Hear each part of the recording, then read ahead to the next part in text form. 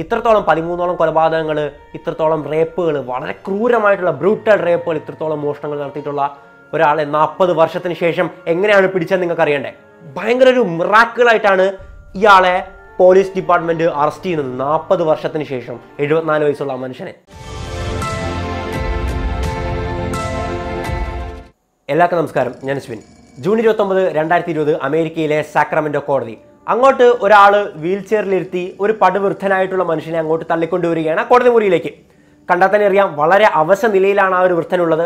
സംസാരിക്കാനൊക്കെ ബുദ്ധിമുട്ടാണ്. കണ്ടാൽ തന്നെ അറിയാം വളരെ ശോഷിച്ച് ക്ഷീണിച്ചിരിക്കുന്ന ഒരു അവസ്ഥയാണ്. എന്തായാലും മണിക്കൂറുകൾ നീണ്ടു നിൽക്കുന്ന വാദപ്രതിവാദങ്ങളായി പിന്നീട് കോടതിയിൽ വാദിഭാഗം വാദിച്ചു പ്രതിഭാഗം വാദിച്ചു. അങ്ങനെ ഒരുപാട് നേരം നീണ്ടു നിൽക്കുന്ന സംവാദങ്ങളും ഒരുപാട് കാര്യങ്ങളൊക്കെ ആയിട്ട് അങ്ങ് കോടതി മുറി മൊത്തം നിറയുകയാണ്. അതിനു മുമ്പ് ഒരുപാട് ദിവസങ്ങളായിട്ട് ഈ കേസിന്റെ വിസ്താരം നടന്നുകൊണ്ടിരിക്കുന്നുണ്ടായിരുന്നു. എന്തായാലും ഇരുപത്തൊമ്പതാം തീയതിയാണ് പ്രധാനപ്പെട്ട ഒരു സംഭവം നടക്കുന്നത്. അതുകൊണ്ട് തന്നെയാണ് ഈ ഡേറ്റ് നമ്മൾ എടുത്തു പറയാൻ കാരണം. കുറച്ച് നേരത്തിന് ശേഷം എല്ലാവരുടെയും ശ്രദ്ധ ആ മനുഷ്യനിലേക്കായി ആ ഒരു പടുവൃദ്ധനിലേക്കായി. എഴുപത്തിനാല് വയസ്സായിരുന്നു അയാൾക്കുണ്ടായിരുന്നത്. ആ വൃദ്ധൻ മൈക്കിലൂടെ പറയുകയാണ് ആ കുറ്റങ്ങളെല്ലാം ചെയ്തത് ഞാനാണ്. ഞാൻ സമ്മതിക്കുന്നു. ആ കുറ്റങ്ങളെല്ലാം ചെയ്തത് ഞാനാണ്. എഴുപത്തിനാല് വയസ്സുള്ള വൃദ്ധൻ ചെയ്തത് എന്ത് കുറ്റമായിരിക്കും? അയാളുടെ ചെറുപ്പകാലത്ത് ചെയ്ത കുറ്റമായിരിക്കും. അതെല്ലാം എന്നുള്ള വാക്കിൽ ഒതുക്കിയത് എത്ര കുറ്റങ്ങളാണ് നിങ്ങൾക്കറിയാവോ? എന്ത് കുറ്റമാണ് നിങ്ങൾക്കറിയാവോ? ജസ്റ്റ് ഏതെങ്കിലും മോഷണശ്രമമായിരുന്നു? അല്ലെങ്കിൽ ആരെങ്കിലും കൊല്ലാൻ ശ്രമിച്ച കുറ്റമായിരുന്നോ? ഒരിക്കലുമല്ല. അമേരിക്കയെ കിടുകിടാ വിറപ്പിച്ച നാൽപ്പത് വർഷത്തോളം അമേരിക്കൻ പോലീസും എഫ് ബി ഐയും എൻ ഐ ഒക്കെ വേട്ടയാടുന്ന ദ ഗോൾഡൻ സ്റ്റേറ്റ് കില്ലർ എന്നറിയപ്പെടുന്ന ജോസഫ് ഡിയാംഗലോ ആയിരുന്നു ആ മനുഷ്യൻ. അതെല്ലാം എന്ന വാക്കിൽ അയാൾ ഒതുക്കിയത് പതിമൂന്ന് കൊലപാതകങ്ങൾ അമ്പത് ബലാത്സംഗങ്ങൾ റേപ്പ് അതിൽ കൊച്ചുകുട്ടികൾ പത്തും പന്ത്രണ്ടും പതിമൂന്നും വയസ്സുള്ള കൊച്ചുകുട്ടികൾ ഉൾപ്പെടുന്നുണ്ട്. അതുപോലെ തന്നെ നൂറ്റി ഇരുപതോളം മോഷണങ്ങൾ ഇത്രയുമായിരുന്നു അതെല്ലാം ചെയ്തത് ആ ഒരു അതെല്ലാമിൽ അയാൾ ഒതുക്കിയത്. അമേരിക്കയിലെ കുപ്രസിദ്ധനായിട്ടുള്ള serial killer serial rapist serial psycho killer എന്ത് പേരിട്ട് വേണമെങ്കിലും വിളിക്കാവുന്ന ജോസഫ് ഡിയാഞ്ചലോ ആയിരുന്നു അത്. നാൽപ്പത് വർഷത്തെ വേട്ടയാടലിന് ശേഷം അമേരിക്കൻ പോലീസ് പിടിക്കുവാണ്. അത്രയും വർഷം ഇയാൾ ഇരുട്ടിൽ താമസിക്കുകയായിരുന്നു. ആയിരത്തി തൊള്ളായിരത്തി എഴുപത്തി മൂന്ന് മുതൽ ആയിരത്തി തൊള്ളായിരത്തി എൺപത്തി ആറ് വരെ കാലിഫോർണിയക്കാരുടെ പേടി സ്വപ്നം. പലരും പറഞ്ഞു ഒരു സ്കീ മാസ്കും ധരിച്ചൊരു വ്യക്തിയെ പലയിടങ്ങളിലായിട്ട് കാണുന്നുണ്ടെന്ന്. പക്ഷെ അന്ന് ആരും കാര്യമാക്കിയില്ല. പിന്നീട് എഴുപത്തി മൂന്ന് തുടങ്ങി അങ്ങോട്ട് ഗോൾഡൻ സ്റ്റേറ്റ് കില്ലറിന്റെ വേട്ടയാടലായിരുന്നു. കാലിഫോർണിയയിലെ പല പല സ്ഥലങ്ങളിൽ പല പല പേരുകളിലാണ് ഇയാൾ അറിയപ്പെട്ടിരുന്നത്. സാൻജോക്കിൻ വാലിയിൽ വിസിലിയൻ റാൻസാക്കർ എന്നും സാക്രമെന്റോ ഏരിയയിൽ ഈസ്റ്റ് ഏരിയ റേപ്പിസ്റ്റ് എന്നും അതുപോലെ തന്നെ സാന്താ ബാർബറ വെഞ്ചൂറ ഓറഞ്ച് കൗണ്ടീസിൽ നൈറ്റ് സ്റ്റേക്കർ എന്നുമാണ് ഒറിജിനൽ നൈറ്റ് സ്റ്റേക്കർ എന്നുമാണ് ഇയാൾ അറിയപ്പെട്ടിരുന്നത്. കാലിഫോർണിയക്കാരുടെ പേടി സ്വപ്നം. രാത്രികളിൽ വീടുകൾ അതിക്രമിച്ച് കിടക്കുകയാണ് ഇയാൾ ആദ്യമായിട്ട് ചെയ്യുന്നത്. പല സ്ഥലങ്ങളിലായിട്ട് മോഷണങ്ങൾ മാത്രമായി പല സ്ഥലങ്ങളിൽ സ്ത്രീകളെ പീഡിപ്പിക്കുന്ന ഒരു സീൻ മാത്രമായി. അത് കുട്ടികളടക്കമാണ്. പന്ത്രണ്ടും പതിമൂന്നും. ആ ഒരു വയസ്സെന്നൊന്നുമില്ല. പെൺകുട്ടികളെ കണ്ടാൽ പീഡിപ്പിക്കുന്ന തരത്തിലേക്കായി ചില അവസരങ്ങളിലൊക്കെ കൊലപാതകങ്ങളായി. പതിമൂന്ന് കൊലപാതകങ്ങളാണ് അയാൾ സമ്മതിച്ചിട്ടുള്ളത്. ഇയാൾ ആക്ച്വലി ഒരു പോലീസുകാരനായിരുന്നു.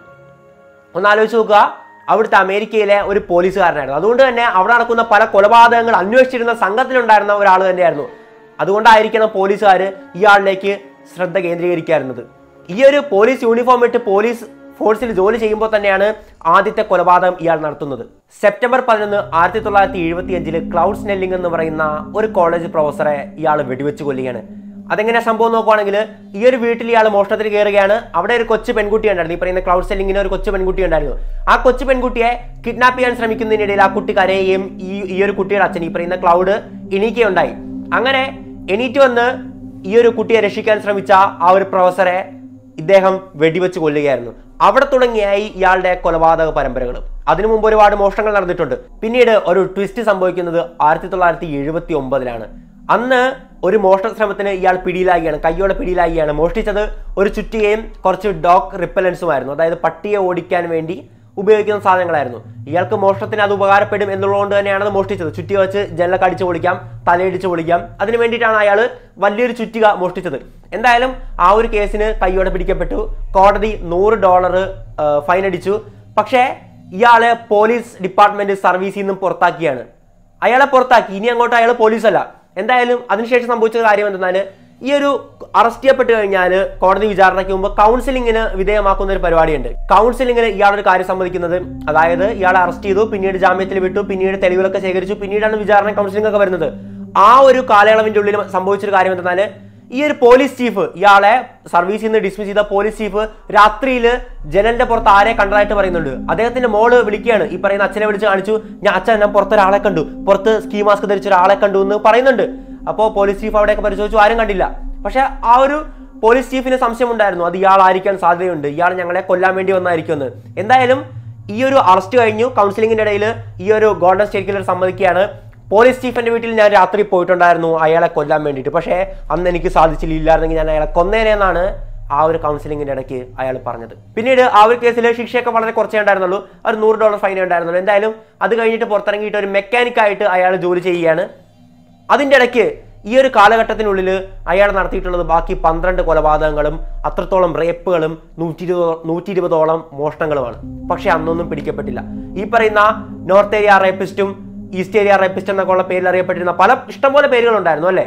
അയാളെ ആരും ഇയാളാന്ന് ധരിച്ചില്ല. അയാളുടെ ഒരു പീഡന രീതികൾ അയാളുടെ അല്ലെങ്കിൽ മോഡസ് അപ്പറന്റി എങ്ങനെയാണെന്ന് നോക്കുകയാണെങ്കിൽ ഈ ഒരു പീഡന രീതി കേൾക്കുന്നു. അതായത് ഇയാൾ ടാർഗറ്റ് ചെയ്തിരുന്ന പ്രധാനമായിട്ടും ഒറ്റയ്ക്ക് താമസിക്കുന്ന സ്ത്രീകളെയാണ്. ഒറ്റയ്ക്ക് താമസിക്കുന്ന സ്ത്രീകളുള്ള വീടുകൾ ടാർഗറ്റ് ചെയ്യും. അതിന്റെ ചുറ്റുവട്ടങ്ങളൊക്കെ പഠിക്കും. പെട്ടെന്ന് എസ്കേപ്പ് ആകാനുള്ള പ്ലാനുകളൊക്കെ അയാളുടെ മനസ്സിലുണ്ടാവും. എങ്ങനെ പെട്ടെന്ന് അങ്ങോട്ട് ആരും കടന്നു വന്നാൽ എങ്ങനെ എസ്കേപ്പ് ആകാം? തന്ത്രപരമായിട്ടുള്ള പ്ലാൻ വരച്ചൊക്കെ തയ്യാറാക്കുന്ന പോലെയായിരുന്നു അദ്ദേഹത്തിന്റെ പരിപാടി.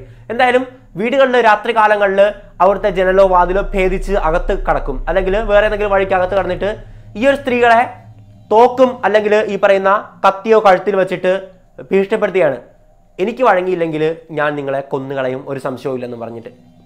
എന്നിട്ട് ആ സ്ത്രീകളെ ക്രൂരമായിട്ട് പീഡിപ്പിക്കുകയാണ്. പ്രായമൊന്നുമില്ല. കൊച്ചുകുട്ടിയെന്നോ പ്രായമായവരെന്നോ വൃദ്ധയെന്നൊന്നുമില്ല. കണ്ണിൽ കിട്ടുന്നവരെ പീഡിപ്പിക്കും. ചില സ്ഥലങ്ങളിൽ പീഡനങ്ങൾ ഇല്ലായിരുന്നു. ഈ പറയുന്ന മോഷണങ്ങൾ മാത്രമേ ഉണ്ടായിരുന്നുള്ളൂ. ചില സ്ഥലങ്ങളിൽ കൊലപാതകങ്ങൾ മാത്രമേ ഉണ്ടായിരുന്നുള്ളൂ.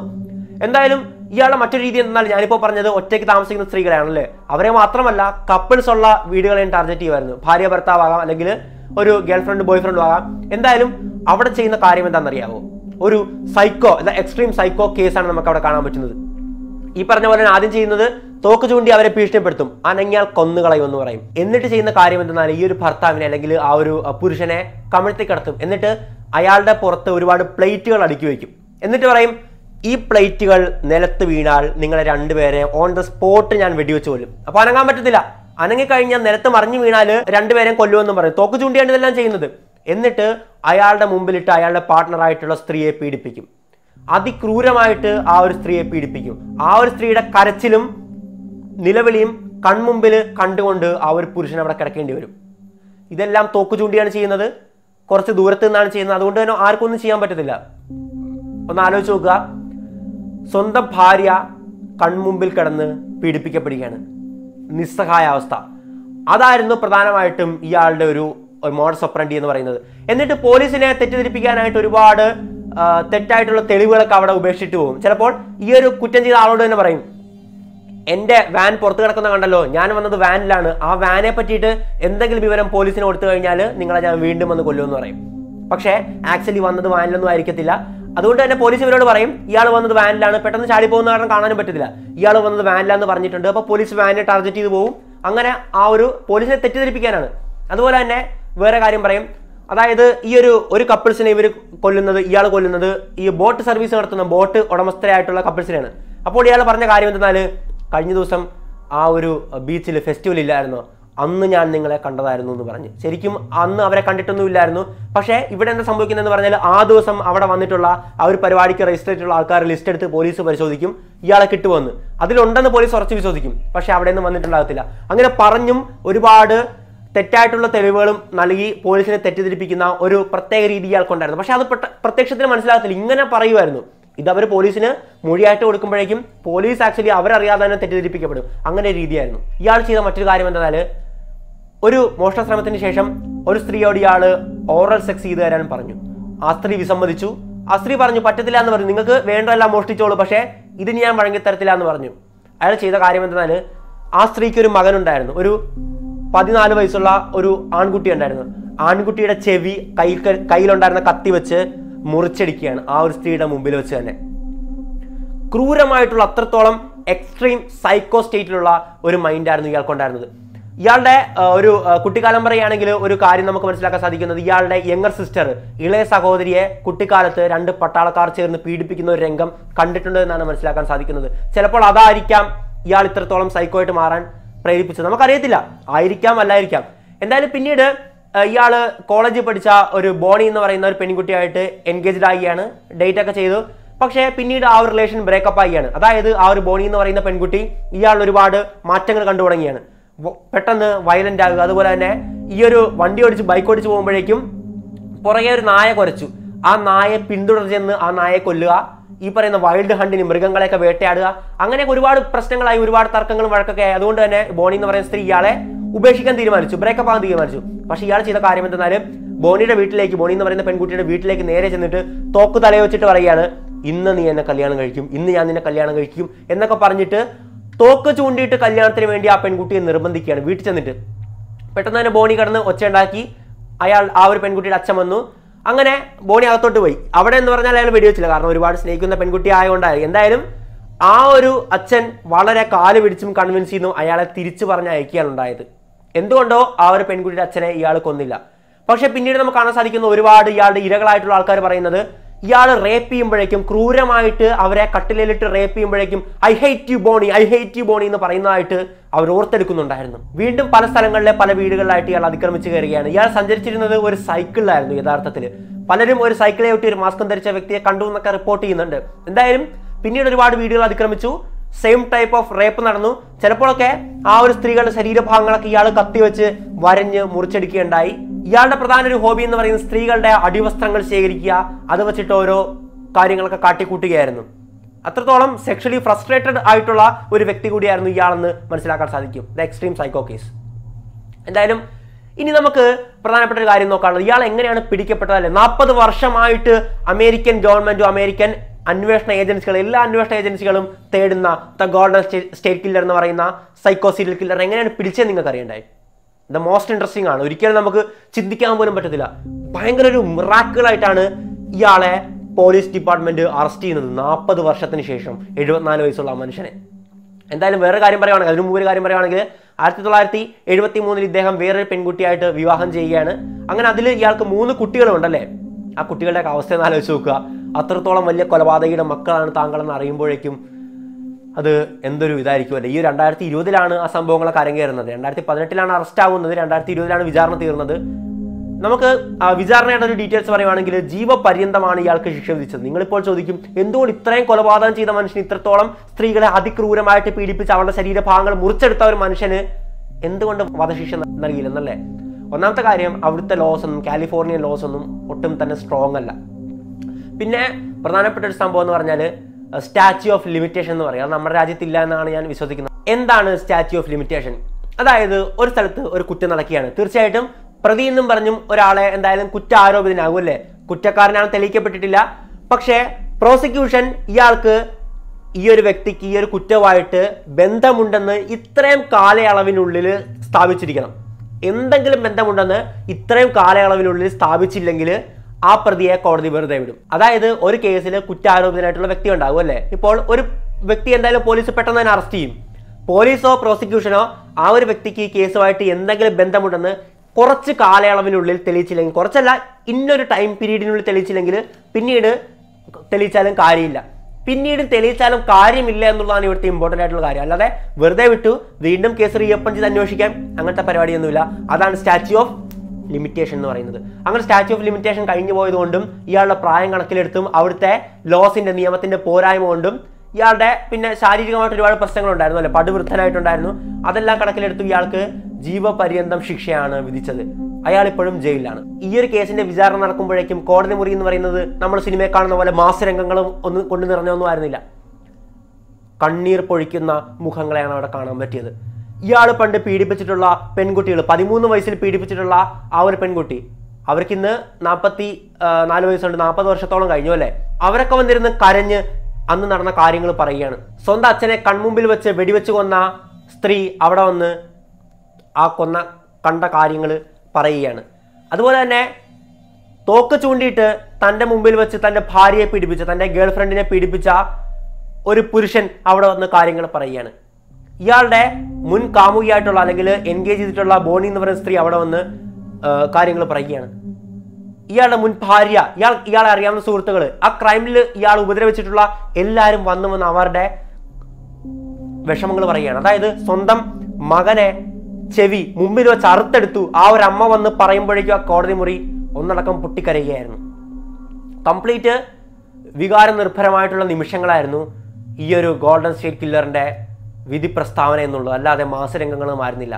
ഇത്രത്തോളം പതിമൂന്നോളം കൊലപാതകങ്ങൾ ഇത്രത്തോളം റേപ്പുകൾ വളരെ ക്രൂരമായിട്ടുള്ള ബ്രൂട്ടൽ റേപ്പുകൾ ഇത്രത്തോളം മോഷണങ്ങൾ നടത്തിയിട്ടുള്ള ഒരാളെ നാൽപ്പത് വർഷത്തിന് ശേഷം എങ്ങനെയാണ് പിടിച്ചത് നിങ്ങൾക്ക് അറിയണ്ടേ ആയിരത്തി തൊള്ളായിരത്തി തൊണ്ണൂറ്റഞ്ചുകളിൽ പോൾ ഹോൾസ് എന്ന് പറയുന്ന ഒരു ഡിറ്റക്റ്റീവിന് ഈ കേസിൽ ഭയങ്കര ഒരു താല്പര്യം തോന്നിയാണ്. അത്രത്തോളം ഒബ്സസ്ഡ് ആയി കേസിൽ ഭയങ്കര ഇൻട്രസ്റ്റിംഗ് ആയിട്ടുള്ള കേസാണ്.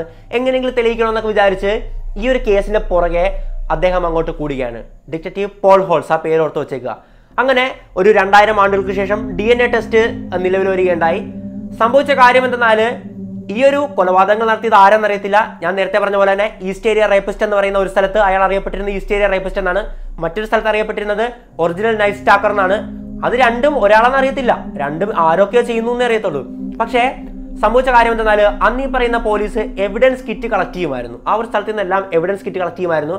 ആ ഒരു എവിഡൻസ് കിറ്റ് എടുത്തിട്ട് രണ്ടായിരം ആണ്ട് കഴിഞ്ഞപ്പോഴേക്കും ഈ പറയുന്ന ഈസ്റ്റേരിയ റേപ്പിസ്റ്റും ഒറിജിനൽ നൈറ്റ് സ്റ്റാക്കറും ഒരാളാന്ന് തന്നെ ഈ പറയുന്ന ഡിറ്റക്റ്റീവ് പോൾ ഹോൾസ് സ്ഥിരീകരിക്കുകയാണ്. അത് ഭയങ്കര ഒരു ട്വിസ്റ്റ് ആയിരുന്നു ഈ ഒരു കേസിൽ രണ്ടുപേരും ഒരാളാണ്. ഈ ഒരാളെ ഫോക്കസ് ചെയ്താൽ മതി എന്നുള്ളൊരു കാഴ്ചപ്പാടിലേക്ക് പോൾ ഹോൾസ് എത്തുകയാണ്. അങ്ങനെ ഈ ഒരു ഒറ്റൊരാളെ കേന്ദ്രീകരിച്ചായി അന്വേഷണങ്ങൾ. അങ്ങനെ ഈ ഒരു രണ്ട് രണ്ട് വാക്കുകളെയും കൂടെ ചേർത്ത് ഒരുമിച്ച് വിളിച്ചത് ഒരു കോഡായിട്ട് വിളിച്ചത് ഇയർ ഓൺസ് എന്നാണ്. അല്ലെ? East area rapist original night stalker EARONS എന്ന് പറയുന്ന പേരിൽ ആ ഒരു കൊലപാതകം അറിയപ്പെടാൻ തുടങ്ങി. പിന്നീട് രണ്ടായിരത്തി പതിമൂന്നിൽ മിഷേൽ മക്നമറ എന്ന് പറയുന്ന ഒരു ക്രൈം ഓദർ ഇയാളെ പറ്റിയിട്ടുള്ള ഒരുപാട് ലേഖനങ്ങൾ എഴുതുകയാണ്. ഇയാളെ പറ്റിയിട്ട് ഭയങ്കര ഇൻട്രസ്റ്റ് ആയി ഇയാളുടെ പുറകെ കൂടുകയാണ്. ഒരുപാട് കാലങ്ങളായിട്ട് അവർ പുറകെ ഉണ്ടായിരുന്നു. എന്തായാലും രണ്ടായിരത്തി പതിമൂന്നിൽ അവർ ഈ ഇയറോൺസ് എന്ന് പറയുന്ന ഇയറോൺസ് എന്നാണ് ഇപ്പോൾ നിലവിൽ ഈ ഒരു ആൾ അറിയപ്പെടുന്നത് ജോസഫ് ഡിയാഞ്ചലോ. താരം നമുക്ക് രണ്ടായിരത്തി പതിമൂന്നിലൊന്നും അറിയത്തില്ല. രണ്ടായിരത്തി പതിനെട്ടിലാണ് പിടിക്കപ്പെടുന്നത്. എന്തായാലും രണ്ടായിരത്തി പതിമൂന്നിൽ ഒരു പേര് അവർ കോയിൻ ചെയ്യാണ്. ദ ഗോൾഡൻ സ്റ്റേറ്റ് കില്ലർ അന്നാണ് ഈ ഒരു വ്യക്തിക്ക് ആ ഒരു പേര് വരുന്നത്. ഗോൾഡൻ സ്റ്റേറ്റ് കില്ലർ എന്നുള്ളത്. എന്തുകൊണ്ടെന്ന് പറഞ്ഞാൽ കാലിഫോർണിയ എന്ന് പറയുന്നത് ഗോൾഡൻ സ്റ്റേറ്റ് എന്ന് അറിയപ്പെടുമായിരുന്നു അതുകൊണ്ട് തന്നെ. അങ്ങനെ മിഷൻ മക്നമറ ഇവരെ പറ്റി ഇയാളെ പറ്റിയിട്ട് കിട്ടാവുന്ന എല്ലാ വിവരങ്ങളും ചേർത്തിട്ട് ഒരുപാട് ആർട്ടിക്കിൾസ് എഴുതുകയാണ്. അവരെഴുതിയിട്ടുള്ള പ്രമാദമായിട്ടുള്ള ബുക്ക് എന്ന് പറയുന്നത് I will be gone in the dark എന്നായിരുന്നു. എന്തുകൊണ്ടാണ് അങ്ങനെ ആ ഒരു ബുക്കിന് പേര് വന്നതെന്ന് പറഞ്ഞാൽ ഈ ഒരു മനുഷ്യനുണ്ടല്ലോ ഇയറോൺസ് എന്ന് പറയുന്ന ഈ ഒരു കില്ലർ ജോസഫ് ഡിയാഞ്ചലോ ഇരകളെ ക്രൂരമായിട്ട് പീഡിപ്പിച്ച ശേഷം അവരുടെ ചെവിയിൽ മന്ത്രിച്ചിട്ട് പോകുന്ന വരികളായിരുന്നു. I will be gone in the dark ഞാൻ ഇരുട്ടിലേക്ക് മറയും. എന്നെ ആർക്കും പിടിക്കാൻ പറ്റത്തില്ല എന്നുള്ളൊരു ഭാവത്തോടെ. പക്ഷേ വളരെ ദുഃഖകരമായിട്ടുള്ള കാര്യം സംഭവിച്ചത് രണ്ടായിരത്തി പതിനേഴിൽ ഈ മിഷേൽ മരണപ്പെടുകയാണുണ്ടായത് രണ്ടായിരത്തി പതിനെട്ടിൽ ഇവരുടെ ഭർത്താവാണ് ഈ ഒരു ബുക്ക് കംപ്ലീറ്റ് ചെയ്ത് പ്രസിദ്ധീകരിക്കുന്നത്. അത് എസ് ബി ഒയിൽ ഡോക്യുമെന്ററി ആയിട്ട് വന്നിട്ടുണ്ടായിരുന്നു. വളരെ ഇൻട്രസ്റ്റിംഗ് ആയിട്ടുള്ള ഡോക്യുമെന്ററിയാണ് കണ്ടു നോക്കുക I will be gone in the dark എന്തായാലും ഈ കേസ് എങ്ങനെയാണ് പോലീസ് തെളിയിക്കുന്നത്? അന്വേഷണ ഏജൻസി തെളിയിക്കുന്നത് നോക്കാം. പോൾ ഹോൾസ് ആണ് ഇത് ആക്ച്വലി തെളിയിക്കുന്നത്. എന്തായാലും രണ്ടായിരത്തി പതിമൂന്നോടെ ഒരുപാട് ഡി എൻ എ ടെസ്റ്റുകളും കാര്യങ്ങളൊക്കെ വളരെ എഫക്റ്റീവായിട്ട് നിലവിൽ വരികയുണ്ടായി. രണ്ടായിരത്തി പതിനാറിൽ ഇയാളെ പറ്റി എന്തെങ്കിലും വിവരം തരുന്നവർക്ക് അമ്പതിനായിരം dollar F B I reward പ്രഖ്യാപിക്കുകയാണ്. പക്ഷേ ഒരു ഗുണം ഉണ്ടായിരുന്നില്ല. പക്ഷേ എഫ് ബി ഐ അവിടെ അന്വേഷിച്ചുകൊണ്ടിരിക്കുന്നു. ഡിറ്റക്റ്റീവ് പോൾ ഹോൾസ് പാരലായിട്ട് വളരെ തന്ത്രപരമായിട്ടുള്ള നീക്കങ്ങളായിരുന്നു അവിടെ ചെയ്തുകൊണ്ടിരുന്നത്. അതായത് ഇയാൾ ചെയ്ത കാര്യം എന്താണ്? ഈ ഒരു പഴയ എവിഡൻസ് കിറ്റിൽ നിന്നും ഇയാൾ ഡി എൻ എ പറയുന്ന ഗോൾഡൻ സ്റ്റേറ്റ് കില്ലറിന്റെ ഡി എൻ എ കളക്ട് ചെയ്തിട്ടുണ്ടായിരുന്നു. എന്തായാലും ഗോൾഡൻ സ്റ്റേറ്റ് കില്ലറും നൈറ്റ് സ്റ്റാക്കറും ഒരാളും തിരിച്ചറിഞ്ഞു. ഒരാളെ ടാർഗറ്റ് ചെയ്താൽ മതി എന്ന് അയാൾക്ക് മനസ്സിലായി. ഒരു കാര്യം നോക്കുകയാണെങ്കിൽ ഈ ഒരു ഡി എൻ എ ഒക്കെ മൊത്തത്തിൽ പോയിട്ടുണ്ടായിരുന്നു. പക്ഷേ ഒരുപാട് സാങ്കേതിക വിദ്യ വിദ്യകൾ വെച്ചിട്ട് ആ ഡി എൻ എ ഒക്കെ ഒന്നുകൂടെ ശക്തിയാക്കിയിട്ട് അത് വെച്ചിട്ടാണ് ആ ഒരു ഡി എൻ എ സ്ട്രക്ചർ എടുത്തതും ടെസ്റ്റ് നടത്തിയതും കാര്യങ്ങളൊക്കെ. എന്തായാലും ഡി എൻ എ ഈ പറയുന്ന ആളുടെ ഡി എൻ എ വളരെ വ്യക്തമായിട്ട് എടുക്കുകയാണ്. എന്നിട്ട് ഇയാൾ ചെയ്ത ഒരു തന്ത്രപരമായിട്ടുള്ള കാര്യമുണ്ട്. ഇയാൾ ഇയാളുടെ സുഹൃത്തിന്ന് അറിയുകയുണ്ടായി ഒരുപാട് ആൾക്കാർ ഈ ദൂരത്തുള്ള ബന്ധുക്കളെ തിരിയുന്നത് ഈ പറയുന്ന കാണാതായ ബന്ധുക്കളെയൊക്കെ തിരിയാൻ വേണ്ടിയിട്ട് ജി ഇ ഡി മാച്ച് എന്ന് പറയുന്ന ഒരു സൈറ്റ് ഉപയോഗിക്കുന്നുണ്ടെന്ന്. അതിൽ അവരുടെ ഡി എൻ എ അങ്ങോട്ട് കൊടുക്കുകയാണ്. എന്നിട്ട് ഏതെങ്കിലും ഡി എൻ ആയിട്ട് മാച്ചിങ് കൊണ്ടോ നോക്കുമല്ലോ ബന്ധുക്കളുടെ ഡി എൻ എ ഒരുപാട് ശതമാനം ഒരുപാട് പേഴ്സന്റ് മാച്ച് ചെയ്യും. അപ്പോൾ അയാൾ ഈ ഒരു ഐഡിയ തലേ കത്തിയാണ് എന്തുകൊണ്ട് ഇയാളുടെ ഡി എൻ എ നമുക്ക് ഈ വെബ്സൈറ്റിൽ അപ്ലോഡ് ചെയ്ത് നോക്കിക്കൂടാ? ഒരുപാട് മില്യൺസ് ഓഫ് ആൾക്കാർ തൻ തങ്ങളുടെ ഡി എൻ എ അപ്ലോഡ് ചെയ്യുന്ന വെബ്സൈറ്റാണ് ആ ഒരു വെബ്സൈറ്റിന്റെ അധികൃതരെ കാണുകയാണ് എന്നിട്ട് ഈ കാര്യങ്ങളൊക്കെ പറഞ്ഞ് ധരിപ്പിച്ചു. അതിന്റെ ഒഫീഷ്യൽ ആയിട്ടുള്ള നടപടിക്രമങ്ങളൊക്കെ ശേഖരിച്ച ശേഷം കൃത്യമായിട്ടും കംപ്ലീറ്റ് ഡാറ്റാബേസ് ഈ ഒരു പോൾ ഹോൾസ് കളക്ട് ചെയ്യാണ്. ആ വെബ്സൈറ്റിലെ കംപ്ലീറ്റ് മില്യൺസ് ഓഫ് ആൾക്കാരുടെ ഡി എൻ എ ഇയാൾ കളക്ട് ചെയ്തിട്ട് എന്താ ചെയ്തതെന്ന് പറഞ്ഞാൽ ഈ ഒരു ഡി എൻ എ ആയിട്ട് എന്തെങ്കിലും മാച്ചിങ് ഉണ്ടോ നോക്കി. അതായത് ഇത്ര ആൾക്കാരുടെ ഡി എൻ എ ഉള്ളതല്ല? ഈ പറയുന്ന നമ്മുടെ ഗോൾഡൻ സ്റ്റേറ്റ് കില്ലറിന്റെ ഡി എൻ എ ആയിട്ട് എന്തെങ്കിലും മാച്ചിങ് ഉണ്ടോ നോക്കി. അപ്പോൾ കാണാൻ പറ്റിയത് ചെറിയൊരു മാച്ചിങ് ഉള്ള ഇരുപത് ഡി എൻ എസ് അതിന്റെ അകത്ത് കാണാൻ പറ്റി. ഒരുപാട് ശതമാനം ഒരേപോലെ വരുന്നു. അപ്പോൾ എന്തായാലും ഇവർ ധരിച്ചു. അതായത് ഇവർ കണക്ക് കൂട്ടി ഇത് ഇവരുടെ ബന്ധുക്കൾ തന്നെ ആയിരിക്കുമെന്ന് അവിടെ തുടങ്ങിയായി ഗോൾഡൻ സ്റ്റേറ്റ് കില്ലറിന് വേണ്ടിയിട്ടുള്ള വേട്ടയാടൽ ഒരു തുമ്പ് കിട്ടി. ആദ്യമായിട്ട് ഇത്തരം വർഷങ്ങൾക്ക് ശേഷം അല്ലേ? നാൽപ്പത് വർഷത്തിന് മുകളിന് ശേഷം ഒരു തുമ്പ് കിട്ടിയാണ് ഗോൾഡൻ സ്റ്റേറ്റ് കില്ലറിനെതിരെ ഇയാളുടെ ബന്ധുക്കളായിരിക്കാൻ വളരെ സാധ്യത കൂടുതലാണ്. അല്ലാത്തവരും മാച്ച് ചെയ്യാം കുറച്ചൊക്കെ മാച്ച് ചെയ്യാം. പക്ഷേ ഉറപ്പ് പറയാൻ പറ്റത്തില്ല. എന്തായാലും ഇവർ പിന്നീട് അങ്ങോട്ട് ഉറക്കമില്ല രാത്രികളായി. ഒരു കാര്യം ഉള്ളത് ഇവർ ഒഴിവ് സമയങ്ങളിൽ മാത്രമായിരുന്നു ഇതിനെതിരെ ഫോക്കസ് ചെയ്തുകൊണ്ടിരുന്നത്. കാരണം ഇവർക്കറിയാം ചിലപ്പോൾ ഇത് ഫലപ്രദമാകത്തില്ല. ഇത് ഇതിനു വേണ്ടി മാത്രം നടക്കുന്നത് ചിലപ്പോൾ ഒരു നിഷ്ഫലമായിട്ടുള്ള സംഭവമായിപ്പോൾ അതുകൊണ്ട് തന്നെ ഒഴിവ് സമയങ്ങൾ അല്ലെങ്കിൽ ദിവസം ഓരോ ദിവസത്തിന്റെ അവസാനം ഒരുപാട് മണിക്കൂറുകൾ ഇതിനു വേണ്ടി മാറ്റിവെച്ചു. അല്ലെങ്കിൽ രാത്രിയിൽ ഉറങ്ങാതെ കുറച്ച് നേരം ഇരുന്ന് ഇതിനു വേണ്ടി മാറ്റി വെച്ചു എന്തായാലും ഇവർ ചെയ്ത കാര്യം എന്താണ് ഈ ബന്ധുക്കളെ പോയി കണ്ടു. അതുപോലെ തന്നെ അന്നത്തെ ഒരുപാട് പത്രത്തിലെ ചരമക്കുറിപ്പുകൾ ശേഖരിച്ചു. ഒരുപാട് സെമിത്തേരികൾ പോയിട്ട് അവിടുത്തെ ഡീറ്റെയിൽസ് എടുത്തു. ഒരുപാട് യുദ്ധങ്ങളിൽ മരണപ്പെട്ട ആൾക്കാരുടെ ഡീറ്റെയിൽസ് എടുത്തു. ഒരുപാട് ആക്സിഡന്റിൽ പെട്ട് മരിച്ച ആൾക്കാരുടെ ഡീറ്റെയിൽസ് എടുത്തു. അങ്ങനെ പിന്നീട് ഒരുപാടത്തെ അധ്വാനത്തിന് ശേഷം ഇവരൊരു ഫാമിലി ട്രീ അങ്ങോട്ട് ഉണ്ടാക്കിയാണ്. ഫാമിലി ട്രീ എന്ന് പറഞ്ഞാൽ ഇവിടെ കാണാമല്ലോ. ഇങ്ങനെ ഒരു ബന്ധുക്കളുടെ ട്രീ കണക്ട് ചെയ്ത് കണക്ട് ചെയ്ത് പോകുന്ന തരത്തിൽ ഇവരുണ്ടാക്കിയാണ് എത്ര കഷ്ടപ്പെട്ട് ഇവർ എന്തോരം ഉണ്ടാക്കിയെന്ന് അറിയാമോ അതായത് ഈ ഒരു കസിൻസിന്റെ ഈ ഒരു ഡി എൻ എ മാച്ച് ചെയ്ത ആൾക്കാരുടെ ബാക്കോട്ട് എടുത്ത് ആയിരത്തി എണ്ണൂറ് കാലഘട്ടം മുതലുള്ള ആ ഒരു ഫാമിലി ട്രീ ഇവരങ്ങോട്ട് ഉണ്ടാക്കിയിരിക്കുകയാണ് എന്നിട്ട് ഇവർ ചെയ്ത കാര്യം എന്തെന്നാൽ ഈ ഒരു ആ ഒരു കാലഘട്ടത്തിൽ ഈ ഇയാളുടെ ഏജ് ഗ്രൂപ്പിൽ പെടുന്ന ആരെങ്കിലും ഉണ്ട്. ഇയാൾ ചെറുപ്പക്കാരനാണെന്നാണ് പറയുന്നത് അല്ലെ? ഒരു ഇരുപത് മുപ്പത് നാൽപ്പത് വയസ്സിൽ പെടുന്ന ആ ഒരു ഇരുപത് വർഷ കാലയളവിനുള്ളിൽ കാലയളവിന് വരുന്ന ആ ഒരു വർഷങ്ങളിൽ വരുന്ന സംഭവം മനസ്സിലായല്ലോ അല്ലേ? ആ ഒരു വർഷങ്ങളിൽ ഈ ഒരു ഏജിൽ വരുന്ന ആ ഒരു ഫാമിലി ട്രീ മാത്രം എടുത്തു. എന്നിട്ട് അതിന്റെ അകത്ത് പോലും ആയിരക്കണക്കിന് ആൾക്കാരുണ്ടായിരുന്നു. എന്നിട്ട് ഇതുമായിട്ട് മാച്ച് ചെയ്യുന്ന എന്തെങ്കിലും ബന്ധങ്ങളുണ്ടോ നോക്കി അങ്ങനെ അങ്ങനെ ആ ഒരു ഫാമിലി ട്രീ വെട്ടിച്ചുരുക്കി വെട്ടിച്ചുരുക്കി വന്നു. പുരുഷ സ്ത്രീകളെ ഒഴിവാക്കി. പിന്നെ ഒരുപാട് ഡിസേബിലിറ്റീസ് ഉള്ള പുരുഷന്മാരെ ഒഴിവാക്കി. കാലുകളൊക്കെ മേലാത്ത പുരുഷന്മാരെ ഒഴിവാക്കി. അതായത് ഇയാൾ വളരെ വേഗത്തിൽ ഓടിപ്പോകുന്നതൊക്കെ കണ്ടവരുണ്ട്. അപ്പോൾ കാലുകൾ മേലാത്തവരല്ല. അങ്ങനെ ഒരുപാട് നിരീക്ഷണത്തിനും പഠനങ്ങൾക്കും ഒരുപാട് കഷ്ടപ്പാടിനും ശേഷം രണ്ട് പേരിലേക്ക് അത് വന്നു നിൽക്കുകയാണ്. ആയിരത്തി എണ്ണൂറ് മുതൽ ഉണ്ടാക്കിയ ഫാമിലി ട്രീ ആണ് ഒന്ന് ആലോചിച്ച് നോക്കുക. ഒരു ചെറിയ തുമ്പെ പിടിച്ചാണ് അവർ അത്രയും കാര്യങ്ങൾ ചെയ്തത്. ഒരു ചെറിയ തുമ്പെ പിടിച്ച്. കംപ്ലീറ്റ് ഫാമിലി ട്രീ ഉണ്ടാക്കിയത്. രണ്ട് പേരിലേക്ക് മാത്രമായി. ഒന്ന് ഒരു മനുഷ്യൻ ഒരു ചെറിയൊരു ക്രിമിനൽ ബാക്ക്ഗ്രൗണ്ട് ഉള്ള മനുഷ്യൻ. ആ അവർ വേറൊരു കാര്യം നോക്കിയിട്ടുള്ളത് ഇതിൽ ക്രിമിനൽ ബാക്ക്ഗ്രൗണ്ട് ഉള്ള ആൾക്കാരുടെ ഒരു ഇതെടുത്തു അതായത് ക്രിമിനൽ ബാക്ക്ഗ്രൗണ്ട് ഒന്നും ഇല്ലാത്ത ആൾക്കാരെ അവർ ഒഴിവാക്കേണ്ടി വന്നു. അല്ലാണ്ട് വേറെ ഒഴിവാക്കാതിരിക്കാനോ അവർക്ക് പറ്റി അതുകൊണ്ട് നൈസായിട്ട് ഗസ് പോലെ അവർ ഒഴിവാക്കി കൊടുത്തു. എന്തായാലും അവസാനം രണ്ട് പേരിൽ വന്നിരുന്നു. ഒന്ന് ജോസഫ് ഡിയാഞ്ചലോയും മറ്റൊന്ന് വേറൊരു മനുഷ്യനുമായിരുന്നു. ആ ഒരു മറ്റൊരു മനുഷ്യനുണ്ടല്ലോ അയാളുടെ പേര് ഞാൻ ഓർക്കുന്നില്ല. എന്തായാലും അയാളെ കൂടെ സർക്കംസ്റ്റാൻഷ്യൽ എവിഡൻസും സാഹചര്യ തെളിവുകളൊക്കെ വെച്ചിട്ട് അയാളെ കൂടെ ഒഴിവാക്കിയാണ്. ഒറ്റ ആളിലേക്ക് വന്നു നിന്നു ജോസഫ് ഡിയാഞ്ചലോ. അന്ന് അയാൾക്ക് എഴുപത്തി രണ്ട് വയസ്സുള്ള ആ വൃദ്ധനിലേക്ക് മാത്രം ആ ഒരു ഡി എൻ എ ആ ഒരു ഫാമിലി ട്രീ വന്നിരുന്നു. ഒരുപാട് പതിനായിരക്കണക്കിന് ഫാമിലി ട്രീ മെമ്പേഴ്സ് ഉണ്ടായിരുന്നു അതിൽ നിന്ന് വെട്ടിച്ചുരുക്കി വെട്ടിച്ചുരുക്കി വെട്ടിക്കളഞ്ഞ് വെട്ടിക്കളഞ്ഞ് വെട്ടിക്കളഞ്ഞ് ഒരാളിലേക്ക് മാത്രം. എന്നിട്ട് പോൾ ഹോൾസ് ചെയ്ത കാര്യം എന്തെന്നാൽ ഇയാളെ കംപ്ലീറ്റ് പിന്തുടരുകയുണ്ടായി. ഇയാൾ പോകുന്നിടത്തില്ല ഇയാളെ പിന്തുടരുകയുണ്ടായി. അങ്ങനെ പോൾ ഹോൾസ് ഇയാളുടെ കാറിന്റെ ഫിംഗർ പ്രിന്റിൽ നിന്നും ഇയാളുടെ ഡി എൻ എ കളക്ട് ചെയ്യുകയാണ്. ഡി എൻ എ ആ ഒരു പഴയ ഡി എൻ എ ആയിട്ട് എക്സാക്ട് മാച്ചിങ് കിട്ടി. ആളെ കിട്ടി. ഇത്രയും നാൾ അമേരിക്ക അമേരിക്ക ഉറക്കം കെടുത്തി America വേട്ടയാടിയ psycho serial killer the brutal റേപ്പിസ്റ്റിനെ തിരിച്ചറിഞ്ഞു. നാൽപ്പത് വർഷത്തിന് ശേഷം തിരിച്ചറിഞ്ഞു. ഒരുപാട് തെളിവുകൾക്ക് വേണ്ടിയിട്ട് ഇവർ നെട്ടോട്ടം ഓടുകയാണ്. അന്നുണ്ടായിരുന്ന ഇയാൾ ജീവിച്ചിരുന്ന ആൾക്കാരുടെ സ്ഥലങ്ങളിലൊക്കെ പോയി അവിടുന്ന് തെളിവുകൾ എടുത്തു. ഇയാളുടെ ഈ പറയുന്ന പ്രൊഫഷണൽ ബാക്ക്ഗ്രൗണ്ട് എടുത്തു. അന്ന് മനസ്സിലായി അതായത് പണ്ട് പോലീസിൽ നിന്ന് പിരിച്ചുവിട്ട ആളാണ് ഒരു കുറ്റകൃത്യം ചെയ്തതിന് അന്ന് ഇയാൾ സമ്മതിച്ചിട്ടുണ്ട് ഒരു ക്രൈം ചെയ്തതായിട്ട് അല്ലേ ആ ഒരു പോലീസ് ചീഫിന്റെ വീട്ടിൽ പോയതായിട്ട് സമ്മതിച്ചിട്ടുണ്ട് അങ്ങനെ എല്ലാ തരത്തിലും ഇങ്ങനെയുമായിട്ട് റിലേറ്റ് ചെയ്തിട്ടുള്ള തെളിവുകൾ ശേഖരിച്ച ശേഷം ഇയാൾ അറസ്റ്റ് ചെയ്യുകയാണ്. പോൾ ഹോൾസും ഒരുപാട് ഏജൻസിയും ചേർന്ന് അറസ്റ്റ് ചെയ്തിട്ട് കോടതിക്ക് മുമ്പിൽ സമർപ്പിക്കുകയാണ്. ഒരു തരത്തിലും രക്ഷപ്പെടാൻ പറ്റാത്ത പഴുതുകളില്ലാതെ ഇയാളെ പൂട്ടുകയാണ് പക്ഷേ golden state killer Joseph DeAngelo കോടതി പറഞ്ഞത് എനിക്ക് മൾട്ടിപ്പിൾ പേഴ്സണാലിറ്റി ഡിസോർഡർ ഉണ്ട്. എന്നെ കൊണ്ട് ഈ കുറ്റകൃത്യം ചെയ്യിക്കുന്ന അയാളാണ്. അയാൾ എന്നോട് തലയിലിങ്ങനെ പറഞ്ഞുകൊണ്ടിരിക്കും. അവരെ കൊല്ലി ഇവരെ കൊല്ലുന്നൊക്കെ പറഞ്ഞ് രക്ഷപ്പെടാനുള്ള ശ്രമം നടത്തിയുണ്ടായി പക്ഷേ അതൊന്നും ഫലം കണ്ടില്ല. എന്തൊക്കെ പറഞ്ഞു കഴിഞ്ഞാൽ ഇത്രയും കൊലപാതകം ചെയ്ത ആൾ എന്തിന്റെ പേരിലും വെറുതെ വിടാൻ പറ്റത്തില്ലല്ലേ ജീവപര്യന്തമാണ് കൊടുത്തത് അയാളെ ക്രൂരമായിട്ട് ഏറ്റവും ക്രൂരമായിട്ട് കൊല്ലണമെന്നേ നമ്മളെല്ലാം ആഗ്രഹിച്ചിട്ടുണ്ടായിരുന്നുള്ളൂ. എത്ര വൃദ്ധനാണെങ്കിലും എത്ര അവസ്ഥ നിലയിലുള്ള ആണെങ്കിലും ക്രൂരമായിട്ട് തന്നെ കൊല്ലണമായിരുന്നു. പക്ഷേ അവിടുത്തെ നിയമങ്ങൾക്ക് അതിന് സാധിക്കാതെ സാധിക്കാൻ പറ്റാതെ പോയി. എന്തായാലും ഇയാളെ പിടിച്ചതാണ് ഇതിലെ കേസിലെ മോസ്റ്റ് ഇൻട്രസ്റ്റിംഗ് കാര്യം. നാൽപ്പത് വർഷത്തിന് ശേഷം ഒരു ചെറിയ ഒരു തലമുടിയിൽ തുടങ്ങി അങ്ങോട്ട് അന്വേഷിച്ച് അല്ലെ? അത്ര ഒരു ടൈനി ബിറ്റ് ഓഫ് സാധനം ഉണ്ടായിരുന്നുള്ളൂ. ഒരു ഗസ് വർക്കായിരുന്നു അവരുടെ. ഒരിക്കലും വിചാരിച്ചിട്ടുണ്ടാകത്തില്ല. ജി ഡി മാപ്പ് എന്ന് പറയുന്ന ജി ഡി മാച്ച് എന്ന് പറയുന്ന ഒരു വെബ്സൈറ്റാണ് അവർ അതിന് വേണ്ടി ഉപയോഗിച്ചത്. ഈ പറയുന്ന ഡി എൻ എ ഒക്കെ മാച്ച് ചെയ്ത് നോക്കുന്ന ഒരു സൈറ്റായിരുന്നു എന്തായാലും ഇതാണ് ഗോൾഡൻ സ്റ്റേറ്റ് കില്ലറിന്റെ കഥ. ഒരുപാട് കാര്യങ്ങൾ ഇനിയും പറയാനുണ്ട്. ഒരുപാട് ഒരുപാടുണ്ട്. എന്തായാലും പറയാൻ പറ്റുന്നതൊക്കെ പറഞ്ഞിട്ടുണ്ട്. അപ്പോൾ മറ്റൊരു വീഡിയോയിൽ മറ്റൊരു നല്ല വിഷയം നമുക്ക് വീണ്ടും കാണാം. Lakshmi Ashwin Vadappally signing out